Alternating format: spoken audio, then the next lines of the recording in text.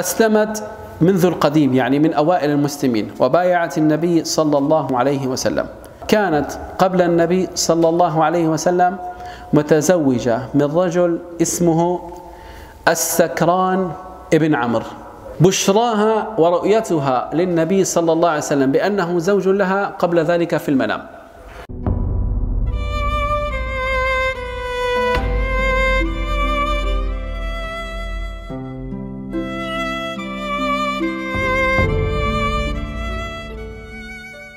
الرحمن الرحيم. الحمد لله رب العالمين. اللهم صل وسلم وبارك على نبينا محمد وعلى آله وصحبه أجمعين. اللهم علمنا ما ينفعنا وانفعنا بما علمتنا وزدنا من لدنك علما يا عليم. إخواني الإنسان حينما يقرأ في سيرة الصحابة رضي الله تعالى عنهم وفي سير زوجات النبي صلى الله عليه وسلم. ينشرح في البداية صدره ويشعر بحجم كبير من السرور والسعادة. كيف لا وهو يذكر سيرة وقصص أفضل خلق بعد الأنبياء؟ فالنبي صلى الله عليه وسلم قال خير القرون قرني ثم الذين يلونهم ثم الذين يلونهم. مع الزوجة الثانية من زوجات النبي صلى الله عليه وسلم مع الصحابية سودة بنت زمعة. فبعد أن تحدثنا في الأسبوع الماضي عن السيدة خديجة رضي الله عنها وبأنها أول زوجات النبي صلى الله عليه وسلم وحفظنا وإياكم أسماء زوجات النبي صلى الله عليه وسلم. نعم. نبدأ اليوم بإذن الله تعالى الحديث عن ثاني زوجة بالترتيب الزمني يعني الأولى خديجة فلما توفيت رضي الله عنها تزوج النبي صلى الله عليه وسلم عقبها سودة بنت زمعة. فاسمها سودة بنت زمعة بن قيس العامرية القريشية أم المؤمنين. هي أول زوجة تزوجها النبي صلى الله عليه وسلم بعد وفاة خديجة وهي الوحيدة التي تزوجها النبي صلى الله عليه وسلم في مكة بعد خديجة وسكنت في بيت خديجة. تمام؟ يعني باقي زوجات النبي صلى الله عليه وسلم لم يسكنوا بيت خديجة وإنما هذه رضي الله عنها سكنت بيت خديجة لمكانتها وللأفعال التي سوف نراها بإذن الله تعالى خلال الحديث. تمام أكرمك الله. إسلامها أسلمت منذ القديم يعني من أوائل المسلمين وبايعت النبي صلى الله عليه وسلم. ولكن هذه المرأة سوداء كانت قبل النبي صلى الله عليه وسلم متزوجة من رجل اسمه السكران ابن عمرو. هيك اسمه. يعني ليست صفة قبيحة. الآن هذه الكلمة كلمة قبيحة في وقتنا حينما يقال الرجل سكران. هذا اسمه السكران ابن عمرو. هذا الرجل السكران ابن عمرو له أخ مشهور في التاريخ يسمى سهيل بن عمرو. فسهيل بن عمر تلاحظ كثير يعني يقع في أسرى بدر الآن نتكلم عنه. ولكن استكرام بن عمر مات قبل ذلك فلم يشهد هذه المشاهد كلها. هاجرت هذه الزوجة رضي الله عنها مع زوجها. من زوجها؟ السكران بن عمر. تمام. هاجرت مع زوجها السكران بن عمر إلى الحبشة في الهجرة الثانية. فلما قدم فلما رجع مات. من هو؟ السكران بن عمر. فمات وقيل لا مات في الحبشة. فقيل مات في الحبشة وقيل مات في مكة على اختلاف في الروايات. فلما حلت يعني فلما انقضت عدة وفاتها تزوجها النبي صلى الله عليه وسلم. ولكن زواج النبي صلى الله عليه وسلم منها له ثلاثة محاور. المحور الأول بشراها ورؤيتها للنبي صلى الله عليه وسلم بأنه زوج لها قبل ذلك في المنام. وهنا لا بد أن نقف إخواني مع قضية الأحلام والرؤى والمنامات وقفة بسيطة. فيجب إخواني بالنسبة لنا نحن الآن أن يعني نقف موقف إنسان عاقل وإنسان مفكر مع قضية الأحلام. لا نجعلها تشغل حيزا كبيرا من حياتنا ولا نهملها. بل موقف وسط. يعني لا نجعلها أفضل. يعني كلما رأينا إنسان رأينا فيه الصلاح حسبنا فيه الصلاح نسأله عن الأحلام لا تجعل قضية عابرة. النبي صلى الله عليه وسلم قال آه، أرشد بالنسبة للإنسان حينما يرى الرؤيا أو الحلم تمام أن يقصها على من يثق به بعلمه وبدينه إذا كانت رؤيا خير.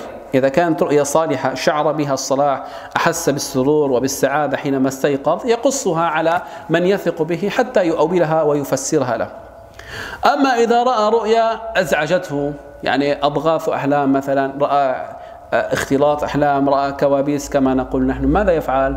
ماذا يفعل إخواني؟ يدفل عن يساره. آه يدفل عن يسار بس بده يكون حذر. إذا كانت الزوجة عن يسار فمشكلة. تمام؟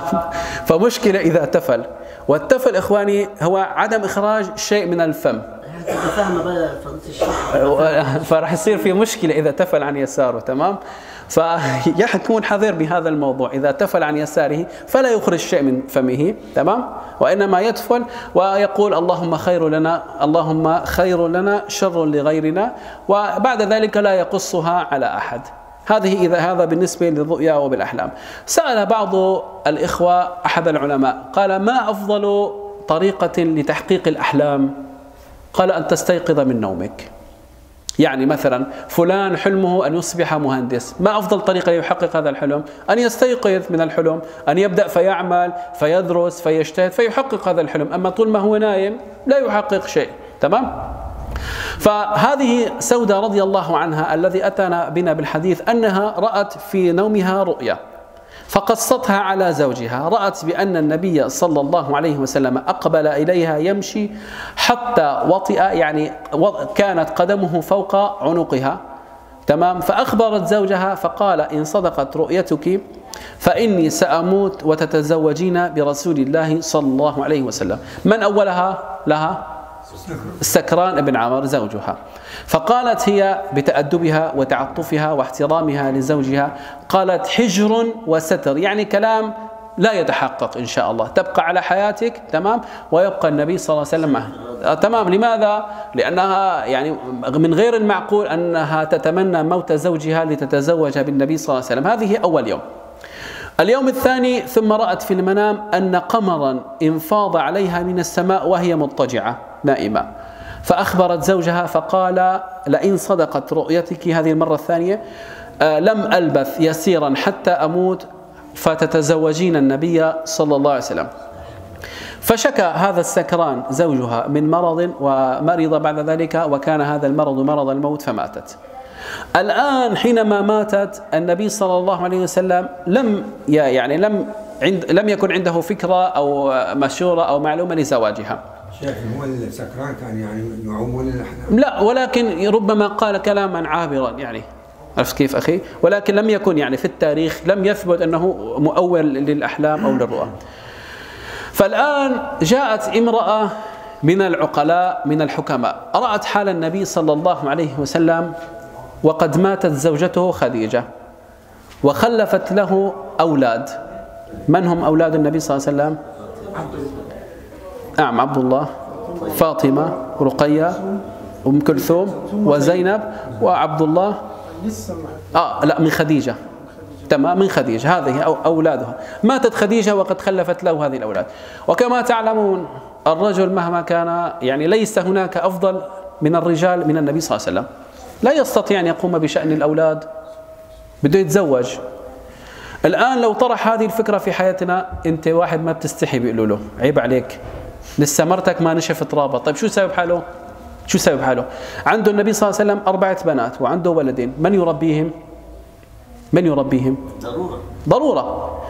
عفوا النبي صلى الله عليه وسلم عنده أربعة أولاد لأن آه، أربعة بنات لأن أولاد الذكور ماتوا قبل ذلك. تمام؟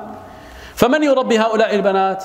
فجاءت امرأة سبحان الله أخذت من اسمها نصيب من اسم أبيها اسمها خولة بنت حكيم السليمية امرأة عثمان بن مضعون. قالت يا رسول الله صلى الله عليه وسلم ما رأيك أن تتزوج؟ قال من من؟ قالت ممن تشاء إن شئت ثيب وإن شئت بكر. كما تريد. قال البكر من؟ قالت بنت صديقك. عائشة بنت الصديق. فالنبي صلى الله عليه وسلم نظر يعني عائشة وبكر وأربعة أولاد.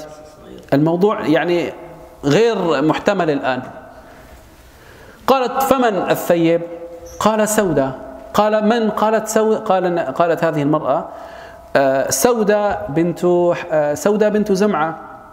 فقال وكيف ذلك؟ قالت أنا أكلمها. أنا يا رسول الله صلى الله عليه وسلم. هذه المرأة خولة بنت حكيم.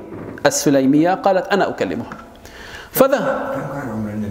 صلى الله عليه وسلم يعني إذا تو إذا عاشت إذا النبي صلى الله عليه وسلم تزوجها وهي عمرها خديجة 25 سنة ولما ماتت كان عمرها 40 يعني 42 سنة 41 سنة مو أكثر من هيك. فقال النبي صلى الله عليه وسلم كلميها. فذهبت إليها فكلمتها فقالت سودة بنت زمعة بأدب حتى أقول لأبي وإذا كنت ثيب يعني الآن ترى المآسي اثنين بيجوا لعندك على الجامع الشيخ اكتب لنا كتاب طب وين أبوك؟ وين أخوك؟ وين عمك؟ وين وليك؟ وإن كانت ثيب يعني بعض العلماء قال لابد من وجود ولي. لا يمكن أن يكون الزواج اثنين اتفقوا مع بعض وجوا عندك بقول أنا ما عندي أوراق ما بعرف أكتب كتابات. عرفتوا كيف؟ فليش الإنسان مثلا ما يكون متأدب بآداب الإسلام؟ يعني رعاية للبنت وحفاظا لحقوقها وشهادة من وليها. فقامت هذه السوداء فكلمت أبيها فقال خير تصيبين يعني ممتاز هذا الوضع اللي بتحكي فيه أنت.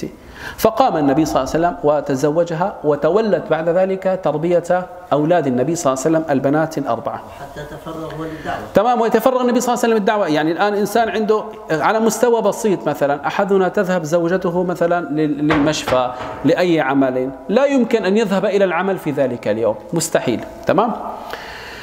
فهذه رضي الله عنها سودة بنت زمعة تزوجت النبي صلى الله عليه وسلم الآن أخوها كان ما يزال على الكفر على الشرك فحينما رجع وسمع بهذا الخبر أخذ بالتراب فوضعه على رأسه إنه شلون أنتم بتتزوجوا محمد صلى الله عليه وسلم؟ شلون بتزوجوا رجل هو يعني باعتقاده سبب المشاكل في قريش باعتقاده، تمام؟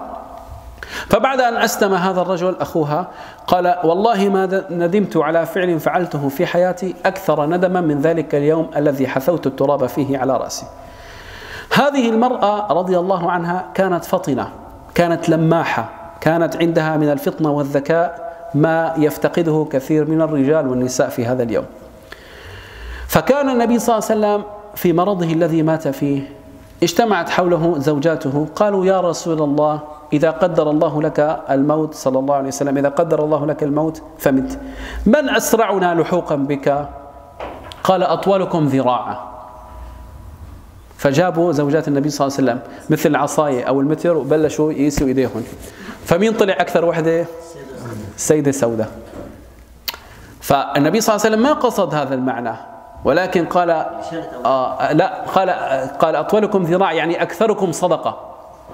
هكذا قصد النبي صلى الله عليه وسلم وهكذا فهمت سودة وسودة حققت المعنيين المعنى الظاهر والباطن فكانت أطولهم يدا وأطولهم صدقة. بعد ذلك أحست بعد هذا الموقف أح- أحست قبل ذلك بتسلسل تاريخي بأن النبي صلى الله عليه وسلم يريد أن يطلقها. أصبحت كبيرة في العمر وأصبحت حركتها بطيئة وقيامها وقعودها. فوقفت إلى النبي صلى الله عليه وسلم في طريق عودته إلى المسجد. قالت يا رسول الله إذا أردت أن تطلقني فإني أهب يومي. اليوم اللي بتجي لعندي فيه اليوم الذي هو من نصيبي أهب ذلك اليوم لعائشة. خليها تأخذ عائشة.